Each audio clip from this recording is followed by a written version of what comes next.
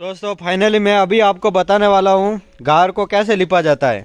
ये देखो, ये हमारा काकी सा जो है रेडी होके आगे है। इधर देखो, पहला पौने का छोटा मारा। परंपरा ऐसा, जमानो यू लिपता है ऐसा। पहले ऐसे पक्के घर नहीं थे।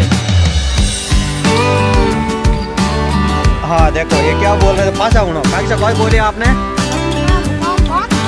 हाँ मट्टी का मुकाम। ये मट्टी का मुकाम है, बहुत मज़बूत रहता है। यो भैया बल ना हाँ यो बछड़ा मारते हैं तो भी नहीं नहीं खड़ता है। अब पग फिसलता नहीं है, ऐसा नहीं पड़ते है। भागता नहीं है। ये देखो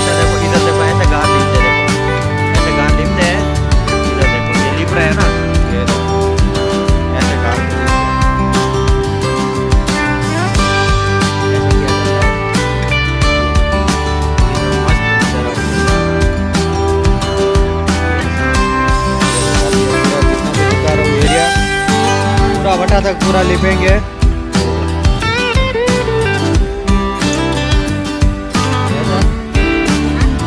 हाँ फिर बाद में नाच कूद भी करेंगे। उनाड़ा को ब्याह होता है, ऐसे बहुत बड़ा फेस्टिवल होता है। नाच कूद होता है, ढोल आता है, थाली बजती है, इधर नाचते हैं, ऐसा ठुमका लगाते हैं। पूरा कैसा थोड़ा थोड़ा पानी लेके छप्पड़ छप्पड़ करके इधर देखो, गाल लीपते ऐसे फाइनली ये देखो, आप भी हीक सकते हैं, आपका घर आ गया, ऐसे लीप सकते हैं। लिपाई करने का ज़रूरत नहीं रहता है, एकदम ओंगड़ा ठंडा रहता है। उनाड़ा को ज़्यादा तपता नहीं है। ये देखो, ऐसा, ये हमारे काकी से ऐसा, फ़ेमस है ऐसा, मारवाड़ में।